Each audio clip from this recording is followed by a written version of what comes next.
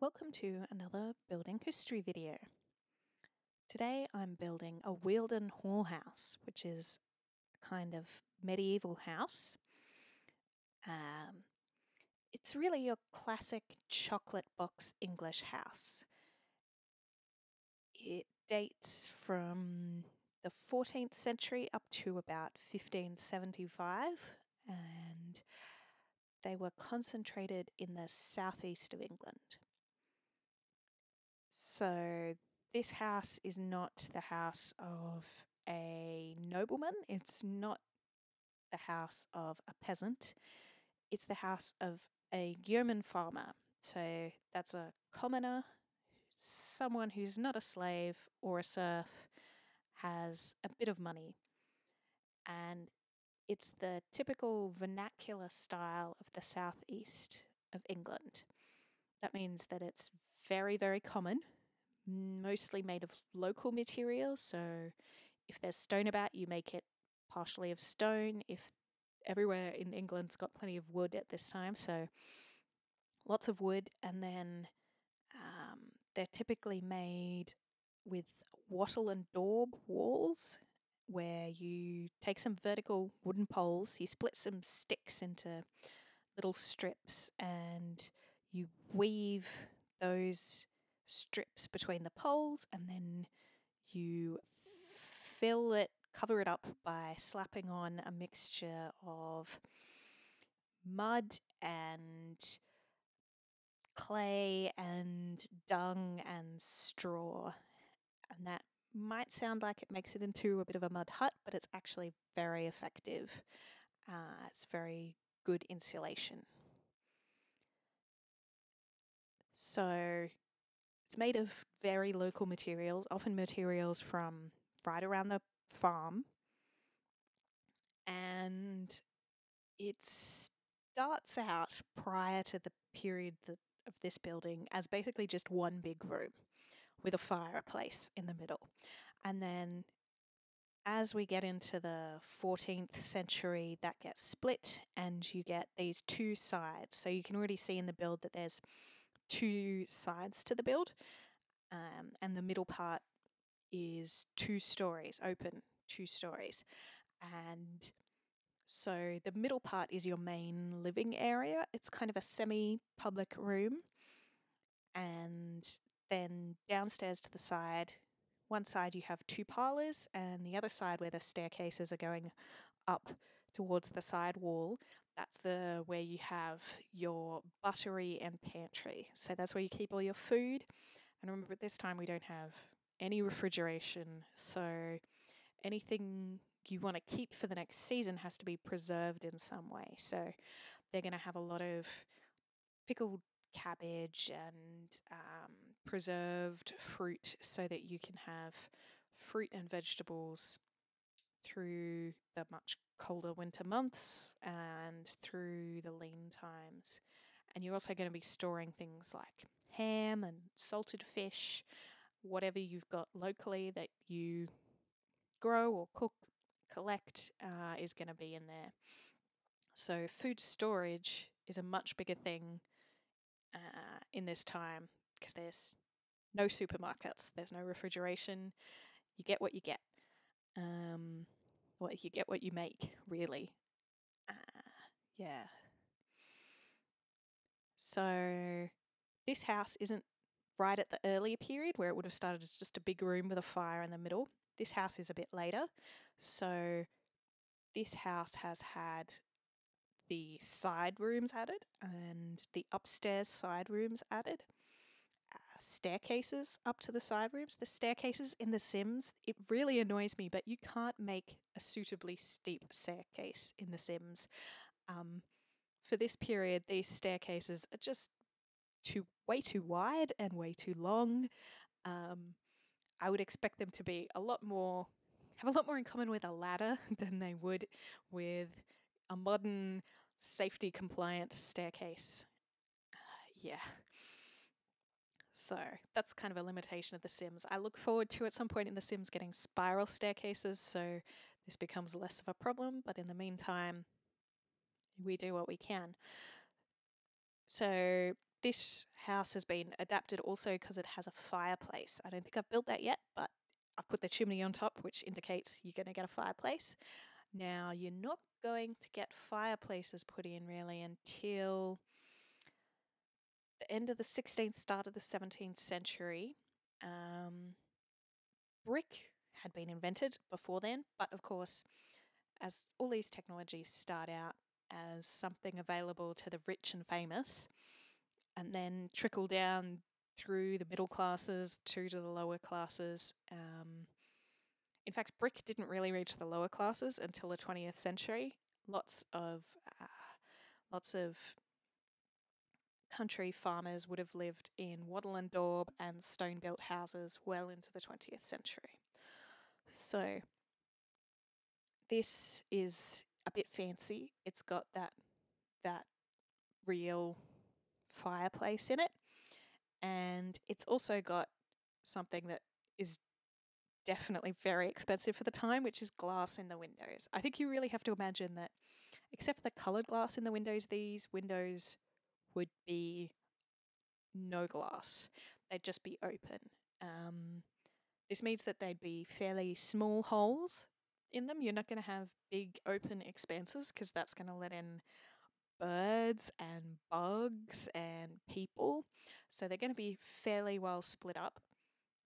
The other thing you'll notice that that means for a house is that you're going to be spending a lot more time outside. I mean, during the day, this is a farmer's house. So there are probably some people working inside the house, spinning or cleaning or cooking, but a lot of the work of a farm is going on outside. So, farming animals, looking after chickens, pigs, cows, and growing barley, beans. Those are kind of the big cash crops of the time. Um, so, this farmer probably grew a variety of different things because diversity is how you don't starve if one of your crops fails. And also, you need to grow different things in different seasons, which is obviously still true today. The other thing to remember about, especially about animals, is that animals have changed a lot since 1575. They, at the time, if you were farming pigs, pigs had a a lot more in common with a wild boar than you would think of today. A pig was not a friendly animal. So it's quite a different quite different animals. The horses would have been smaller, the cows would have been smaller, they would have used the same cows for beef and dairy and chicken would have been really expensive. So you can just see there, I tried to fit a fire in because I thought I'd make it in the older style with an open fire, but you really can't fit any of the Sims fires in the house. So I put in the fireplace instead, which was kind of sad. I'd really like to do one with an open fire, but it doesn't really work. Yeah. Uh, yeah.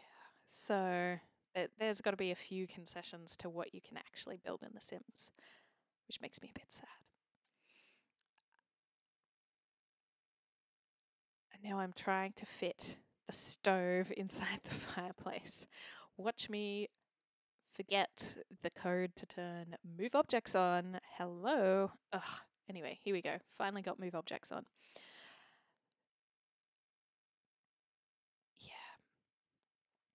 So I'm using the move objects cheat in this build quite a bit. Normally for a functional build, I find that's not a good idea. It's really hard to then see what is going to be safe and what is not going to work in a Sims build. But when you're kind of trying to make do with what The Sims has, it's much easier if you turn the cheat on. It just gives you a lot more options for messing around with things. Um, it, it lets you kind of cobble together ideas uh, to sort of represent things rather than having to worry about how things would actually have looked. So, with this garden, I'm trying to get across the idea a bit that it is a working garden. So, there's no apple trees in The Sims 4. Uh, these farmers would have had, almost certainly have had apple trees.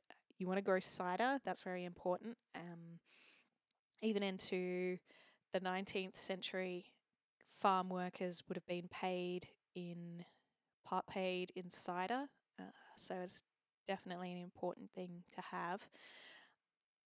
And the other thing you have a lot of is garden space. So, yes, you are could buy vegetables at the market, but the easiest thing to do is to grow them yourself. So, growing beets and growing peas and kale and spinach and all those kind of green leafy vegetables. Very important because they don't keep very well, but they're very important for getting plenty of vitamin C. Not that medieval people knew what vitamin C was, but they did know that winter sickness, where you didn't have any fresh vegetables, was definitely a thing. Um, so you want a nice garden because any spare of your cash crops, so any spare peas, any spare barley, any spare wheat, if you're growing wheat, that's going towards your rent and your tithes and taxes.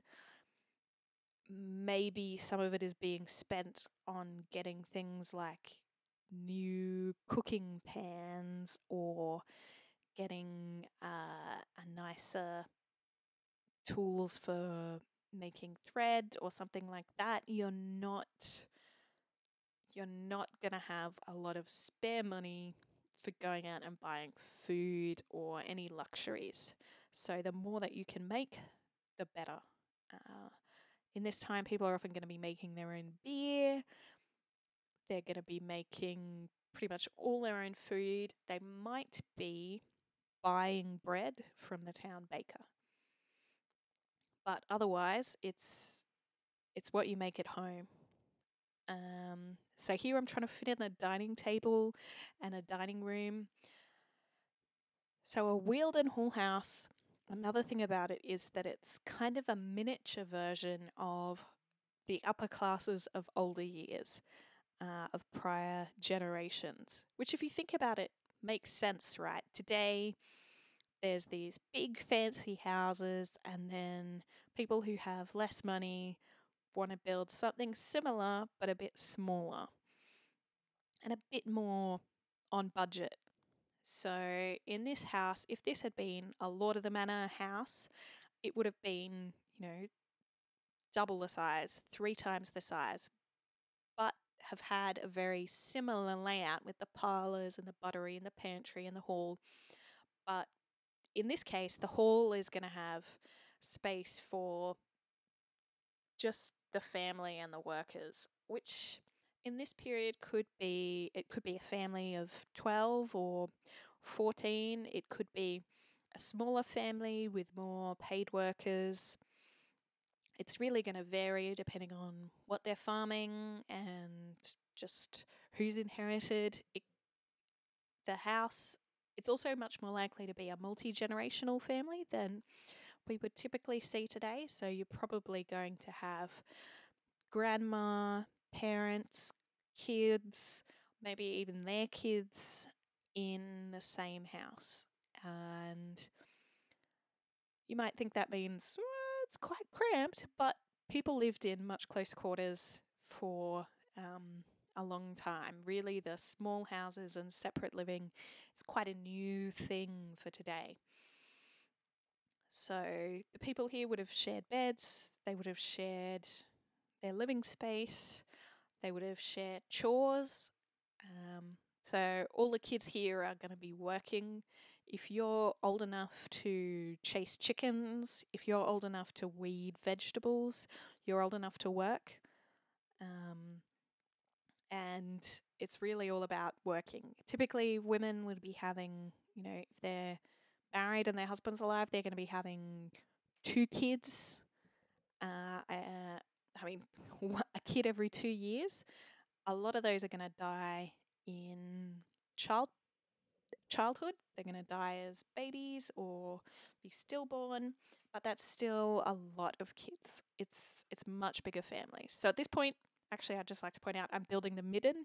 So this is technically the outdoor fire from The Sims, in the medieval period, there's no bin collection night. There's no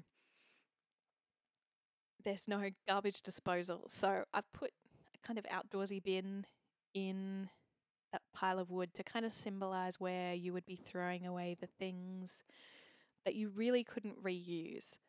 And you've got to remember almost everything you can reuse. So a bunch of stuff that we would throw away, they would not. If you've got food scraps, you can feed them to pigs, you can feed them to your animals. If you've got clothing that's too worn out to wear, it's not too worn out to clean with. Um, at the point where it's too worn out to clean with, you're probably using it to stuff your winter coat or um, to block up a hole in the wall or just to light a fire, even. Um,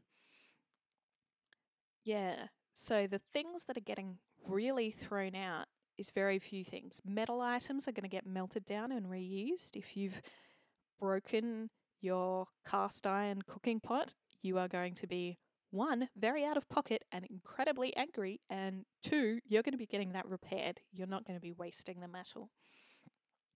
So, there's a lot more recycling and reuse going on than we would have. But there are some things like broken pottery. Broken pottery is kind of the equivalent of modern broken plastic. You just throw it away. It's pretty cheap. You can get more of it, no big deal. Uh, the other thing I've put in the garden is a well you probably you wouldn't have had a personal well as a common farmer. You would have probably gone to a local stream or river or maybe a town well if you lived in a big enough village to have a its own well. But I wanted to kind of symbolize that water in the medieval period is not plumbed in. You're going to have to go outside to get it. So I put a little sink in there to because the well is not a functional object. Um, but open river, open water courses were a common source of water, and you're going to be having to fetch water every single day. So you wake up and you'd like a drink, you better go and get that water. Well, actually, you're probably not drinking water, you're probably drinking beer because the water is not safe to drink. But you're going to get water to make beer, you're going to get water to clean, to cook, you're getting water for so many parts of your life, and it's a massive part of a woman's labor at this period is collecting water from elsewhere. And you'll notice that these bedrooms are pretty sparsely furnished. Just two of them have chests in them. And that's kind of because the possessions of these farmers is going to be pretty small. It's mostly useful kitchen items and bed linen. And in fact, the beds are probably the most expensive thing they own. Um, so here's the floor plan. You can see with the two parlors downstairs and then the four bedrooms upstairs, although there's probably a lot more than four people in, in this house. And then there's the roof and the final view. So thanks for watching. See you next time.